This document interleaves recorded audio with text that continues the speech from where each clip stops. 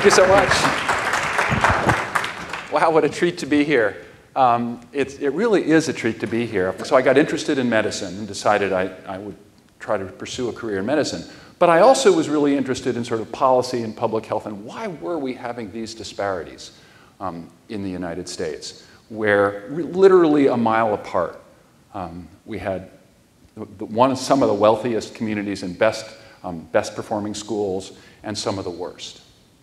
So I'm going to talk about both of those things and the opportunity that you have here to do something about them. Don Berwick talks about this, this dual challenge we have of healthcare that does amazing things for people and so many people left out. And to come to St. Louis, to Ferguson, Michael Brown, thinking about the ways our systems have created um, discrimination, isolation, we need to think really differently if we're going to make healthcare better. I am incredibly excited about what we see happening in healthcare. This possibility that the redesign of new models of care can get us to places where patients are getting much better care is what I see happening and is somewhat challenging. The health system is failing our children. This need not be so. Payment and delivery reform are essential and could accelerate innovation in both care and technology. But important barriers to success need to be thought about. There are basically four things that come out of the model that have to be done if you're to make this successful. One is to adopt global payment in some form. Bundled payments, global payment for accountable care organizations, or something like that that takes the total cost of care and makes a group of providers accountable for it. And you have to mitigate the volume based, you fundamentally have to mitigate the volume based incentives that are in our system and give people incentives to improve care, to improve care, not just cut, not to achieve it by rationing, but to improve care by, to lower costs by improving care. And I think we're seeing more and more examples of how it's about improvement that allows you to lower costs.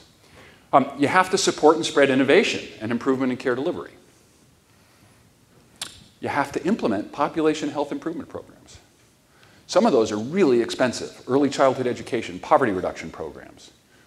They are really expensive, but when you put those together, so you reinvest some of the savings from all of these programs in those community-based and clinical programs, that's when you can fully implement these programs and a realistic assumption about how much money it takes and get, get the payoffs that I showed you in the prior slide. We also looked at outcomes, quality, physicians' perceptions of quality, and there was no evidence that more was better on any of the measures we had. Physicians in the higher spending regions actually said in surveys that we did, it's harder to provide, high, they were more likely to say, I can't provide high quality care here. The key thing about spending isn't that we want to spend less, that could cause harm. We want to think carefully about how we spend our money. What are we spending it on? Are we spending it on making sure people get the care they need, the right medications, no more than the right medications, not 26 medications, the right eight or 10, you know, that they get the right care at the right time at the right place. So this, these are some really important insights. It's about how you spend the money. And there are, there are real opportunities for savings. So this is, we've just ranked in the most recent data hospital referral regions. There are 306 of them in the United States, and looked at inpatient, how much time people spend in the inpatient setting across the United States. And you'll see St. Louis there marked um, inpatient day rate of about 1.36 per patient. That means every Medicare patient spends about, on average, 1.36 days in the hospital in a year. But what you see from this slide is that there are substantial opportunities to reduce the utilization of hospitals if we take the lowest spending regions as benchmarks. And if for the country as a whole, we would save 31% of our days in the hospital if we could all get to those benchmarks. People started to understand the waste in American healthcare. You know, Don Berwick estimates 30, 30 to 40% savings. I'm, our estimates were 30%. That's a lot of money. So that all led, this consensus that there are huge opportunities for improvement, led us to say two things as a country. One is we can afford to expand access. We do not need to have 50 million people uninsured in this country, which is a, a scandal. We can say, all right, let's expand insurance. Let's expand coverage. Let's make sure if you're poor, you don't have to go to bed scared. Um, but let's also redesign care. So the big pieces of the Affordable Care Act were this investment and expansion, but also this effort, kind of hard to do, to change the way we pay for health care and to have delivery systems pay attention to improving care and lower costs. As you think about the incentives under fee for service, it's about doing more, it's about volume. The focus of responsibility is just that specific encounter, whether it's a nursing home stay or a physician visit. And the locus of accountability is the individual clinician or facility. Now, that leads to fragmented care. And so, the, actually, the other motivation for health reform was, in fact, this sense that the degree of fragmentation that patients experience and who's responsible for their care and how does information get from one place to another, the fragmentation that patients were experiencing was awful. What does value mean? This shift to value is, I think, really important for us to think about. Um, Gene Nelson and Paul Batalden, leaders of quality improvement um, in the country, Paul helped found the Institute for Healthcare Improvement, came up with this notion of, of the value compass, which has four domains. Functional status, how does the patient feel, what are they able to do, um, clinical outcomes, mortality, morbidity, the clinical stuff that we as uh, clinicians look at in terms of how patients are doing, um, satisfaction against need, that is, what was the experience that the patient had, did they feel cared for, um, but also, critically important in there is what were their goals? Were we actually paying attention to meeting their goals? And then, fourth, of course, the total cost of care. So, if the key notions in this model uh, are that it is, value is multidimensional. And if we don't think about all dimensions, we're going to make mistakes. Judgment is required. One thing we know about biomedical innovation, and the evidence has been great, is that it tends to be outcome improving. That graph is going up, but it also tends to be cost increasing, and the research is pretty strong on that. Innovations in care delivery offer a double win. Um, they offer the opportunity to improve care and lower costs. And let me give you a couple of examples. So Iora Health is a new, new model of primary care, very using new technologies. Um, they've developed their own electronic health record. Anyone working with a, a, a, traditional electronic health record designed around billing, Iora's is designed around the patient. Um, wonderful technology. Health coaches is a powerful tool for improving care. That's a picture of a health coach with his patient. Um, very radical innovation in primary care that, that moving to a new payment model enables. A new model of specialty care. Sanjeev Arora, a gastroenterologist in, in New Mexico, realized that care for patients with hepatitis C across the state were pathetic. Um, people had to drive six hours, their outcomes were terrible. He said, What if we used clinical protocols to educate um, and give a decision tree to every clinician in the state? And then I'm available Friday afternoons by Skype to answer questions where there are uncertainties. They were able to achieve um, outcomes better than most gastroenterology practices in the United States. Adherence to evidence, helping us at the front lines make wise decisions. So, if I were giving you some thoughts about what you might do, I'd have you thinking about building stronger collective governance.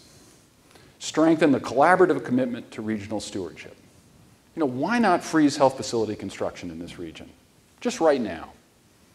You probably don't have the power in this room to do it, but you have friends who could. You know, why not establish a regional cap and trade program from hospital beds? Manage physician supply.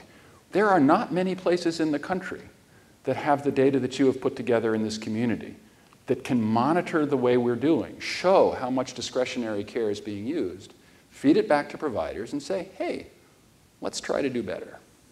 So, Corey Kruger, um, physician at Billings Clinic, one of the most successful physician group practice demonstration places, um, was going around um, talking to docs about you know, what their quality improvement program was like and how they were trying to do stuff. And the neurologist said, Kruger, Kruger, I know that name. You're in charge of that quality improvement program, aren't you?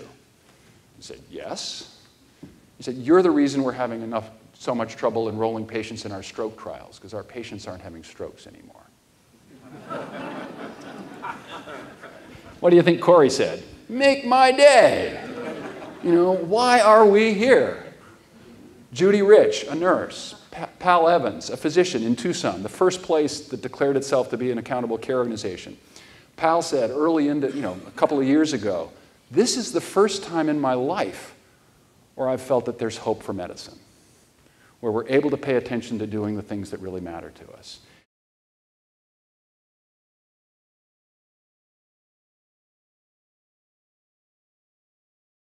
The key insight is that um, I, I, agree. I think you probably have about 30% of your hospital utilization that's avoidable. Um, and the narrow definitions of avoidable care that are out there miss the mark tremendously. So, AHRQ patient safety indicators, which you guys are using, are such a narrow swath of the potentially avoidable care. Because patients with cancer getting chemotherapy, they might be happier doing it as an outpatient and, being, and actually be safer at home, for example. Um, so, yes, you have a tremendous opportunity here. And, and you know, this notion why not an immediate freeze on hospital construction? You know, why not get everybody to figure out, you know, figure out how to manage that capacity. And the only people who can do that are the large businesses who bring the hospitals together and bang heads and say, I'm sorry, guys, we're not, you know, we're not going to do this anymore. We're not going to tolerate um, wasteful inpatient care.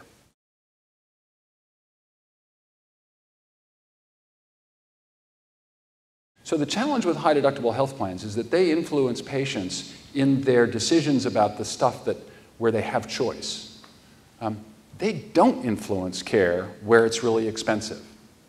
You know, once you've hit, you know, once you're in the hospital, you've gone past any element where a high deductible plan is going to influence your decisions, or you've gone past it in a year. So they do two things. One is they don't slow healthcare costs, because if you look at that supply sensitive stuff I was talking about, hospitals can stay perfectly busy on a smaller and smaller subset of the population that's still in their, you know, in the inpatient setting. Um, and there's plenty of work, there are plenty of sick patients um, for us to take care of as clinicians. So the second thing they do, they, so they don't slow healthcare spending, and we've seen that. You know, oh, yes, you can look at the segment that's got a high deductible health plan, but you look at the community level and there's been no deflection. No deflection in total healthcare spending because the rest of us can stay busy. The second thing they do is they undermine any effort to do primary care or accountable care where it's a population health program, and, physician, and patients will try to stay away from those primary care programs. So if you look at California's exchange, what they did was they, they require plans listed on the exchange to have almost no deductibles for primary care visits, for many of them. Then they put the weight of the deductibles on the elective expensive stuff like the $5,000 MRI. So both, you've raised a wonderful set of questions.